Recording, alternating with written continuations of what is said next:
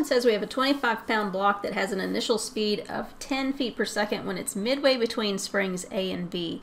And then after it hits spring B, it rebounds and slides across the horizontal plane towards spring A and continues to move back and forth. If the coefficient of uh, kinetic friction between the plane and the block is 0.4, we want to find the total distance traveled by the block before it comes to rest. All right, so let's kind of look at this one.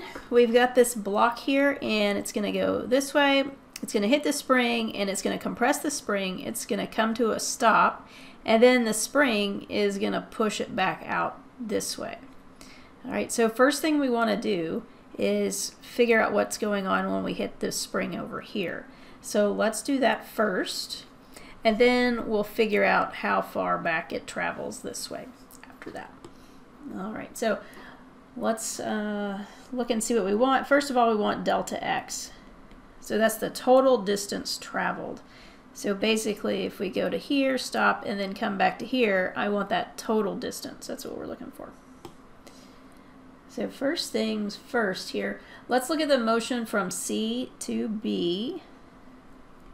Let's make a little note here.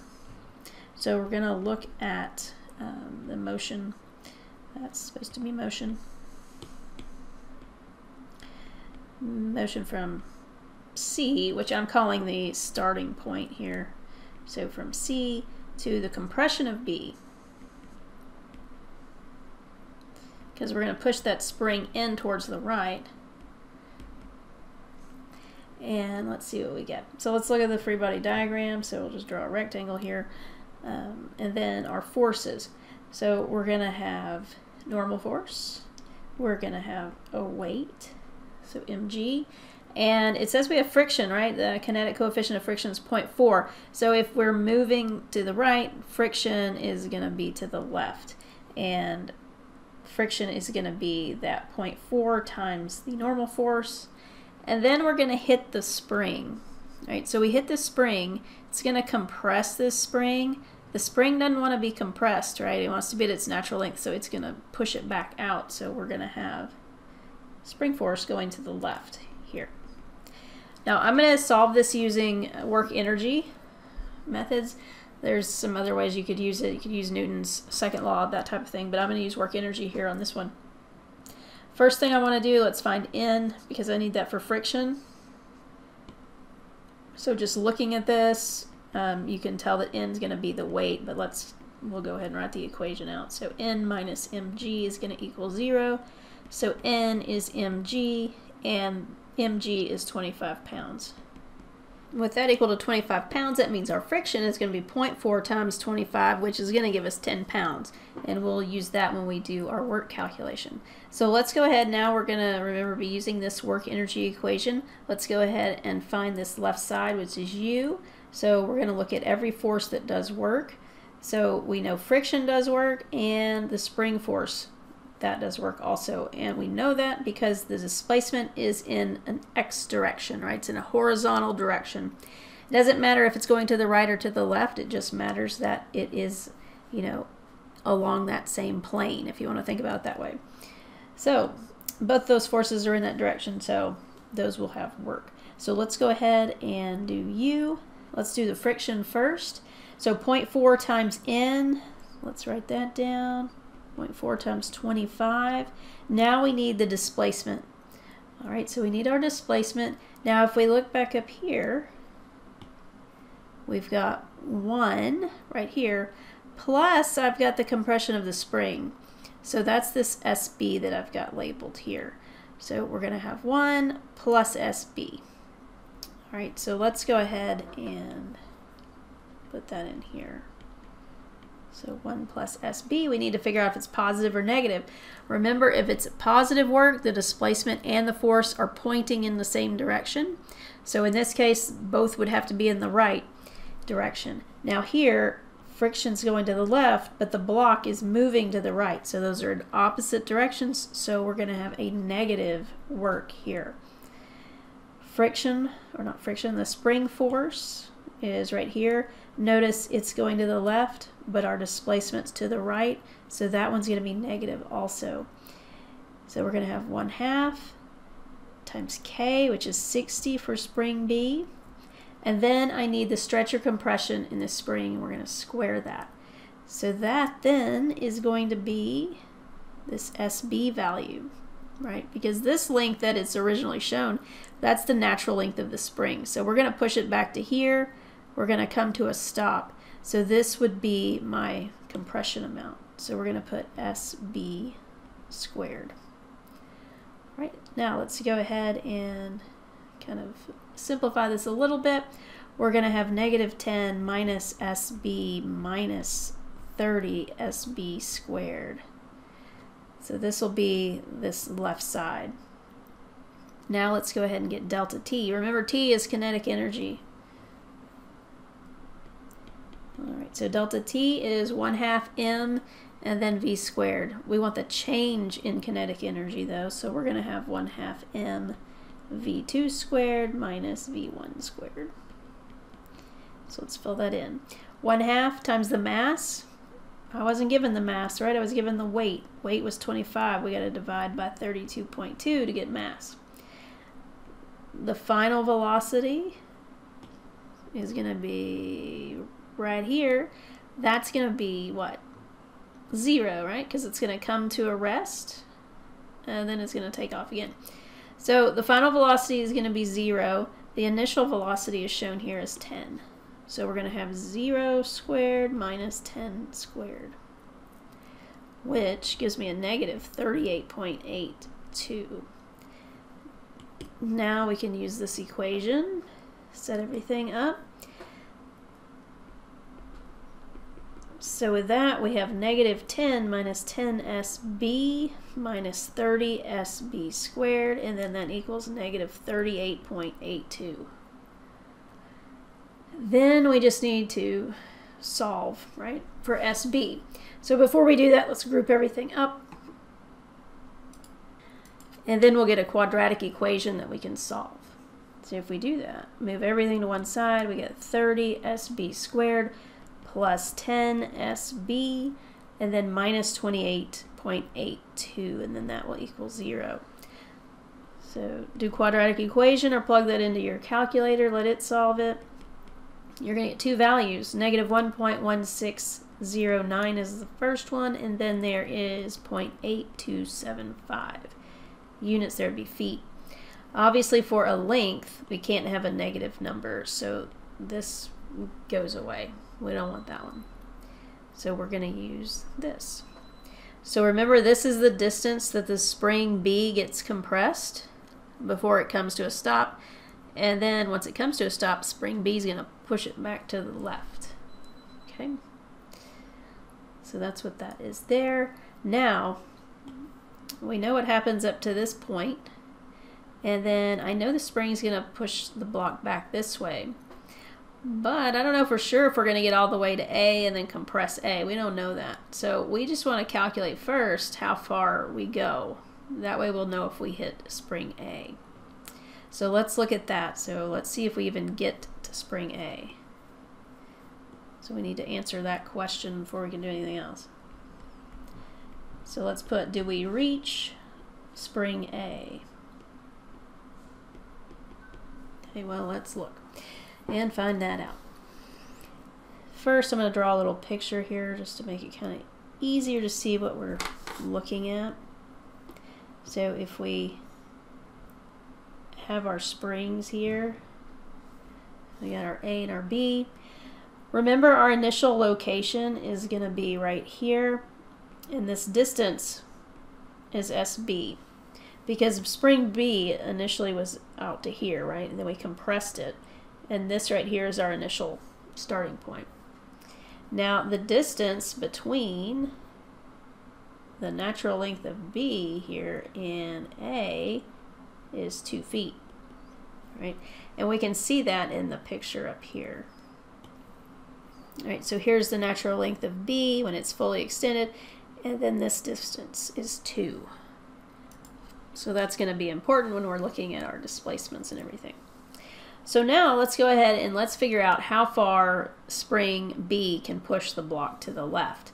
All right, so we're going to be using work again. So I'm going to draw another free body diagram. It's about the same as this one, but there is one little difference. So let's see what that might be. You probably already know. All right, so there's my block. And what all do we need to put on there? Well, we need a normal force.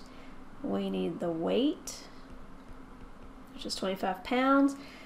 Now I need friction. Now remember at this point we're starting over here where the spring B is compressed and we're going to go to the left. So if I'm moving to the left, friction then is going to go to the right. So we're going to put friction here to the right and that's going to be 0.4 N. N still going to be 25 pounds.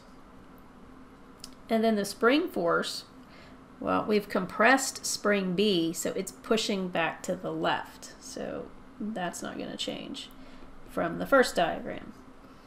So now we've got this. All right. So same process that we did up here. We're going to find U. We'll find delta T, set them equal, and see what we get. All right, so let's do U here. And two forces that do work, again, spring force and friction. Let's do the friction first. That's 0.4 times the normal force, which is 25. And now our distance that's traveled. Well, we're starting here, and I'm going to go some distance to the left, right? I don't know what it is, um, but I'm going to assume we go past SB here and then move forward this way. So let's get another term here. So let's just say SA is right here, and actually, instead of ending it, let's just put a little arrow. Right. So let's call it SA. So SA is just going to be the distance traveled to the length of, you know, past uh, where B is at its natural state. All right, so let's have it called SA. So then our total displacement is going to be 0.8275 plus that SA. And let's make a note. that This is the distance beyond the natural length of spring B.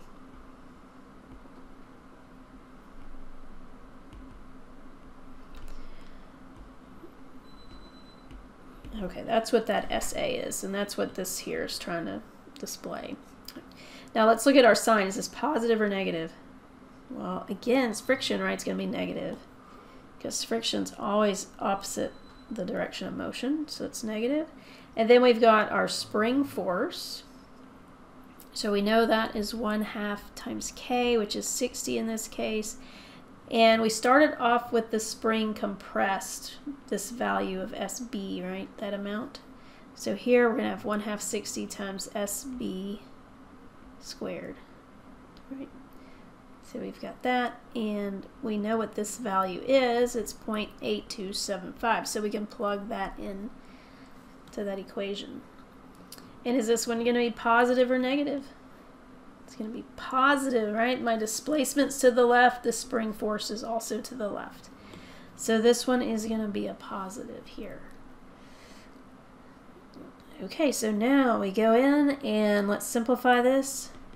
We end up getting negative 8.275 minus 10 SA plus 20.54. So that's what we'll get for work. And then we can go ahead and combine these terms also. So there'll be negative 10 SA and then plus 12.265. So that's our work for this one. And now let's get our change in kinetic energy. So our change in kinetic energy, remember, is going to be the 1 half times the mass times v2 squared minus v1 squared. And remember, our first position here is going to be when we're over here at this compressed state of spring B. So with this, we're going to have 1 half times 25 pounds over gravity gives us our mass. And then our final speed, we want it when it comes to a stop, right? So that's going to be 0 squared. And then what's the initial speed? It's going to be 0 also, right? Because we've compressed the spring B and we're just sitting here, right? And the spring is going to push us back to the left. So both of these are going to be 0, which makes for an easy calculation because it's just 0. So now we can set this equal to 0 because I know u equals delta t. So we're going to have negative 10 SA plus 12.265 equals 0. SA then is going to be 1.227 feet. All right, now the question here is, do we hit the spring at A? All right, that's what our goal was in doing this. We want to figure out if we even hit that spring at A. Now, if we look at our little picture here, this was SA. Okay, it's measured from the natural length of spring B. And the distance between the end of spring B when it's in its natural state and spring A is this 2 feet. So we only went 1.227 feet. So that means we kind of stopped like right here. So we never even got to spring A. So let's put 1.227 feet is less than 2 feet. So we don't reach spring A. Okay, and that's good because otherwise the problem would just keep going. Now remember, we're looking for total distance traveled. That was the goal of this whole problem, finding the total distance that the box travels as it goes back and forth. So what we're going to do is calculate that by using the distances we've calculated. All right. So first, let's scroll back up to this main picture here. So we start here, we travel the one foot, we compress the spring a distance of SB, so that's 1 plus SB right there. And then we go back, which is SB, again, plus the SA value. Okay, so we got to add all of that up.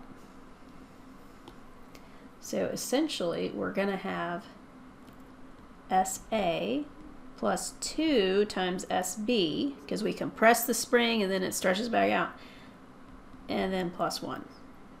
So just plug those numbers in. We have 1.227 plus 2 times 0.8275 plus 1, and that is 3.882 feet and that will be the total distance traveled by that block when we have this configuration with the springs. See y'all again next time. Y'all have a good rest of the day.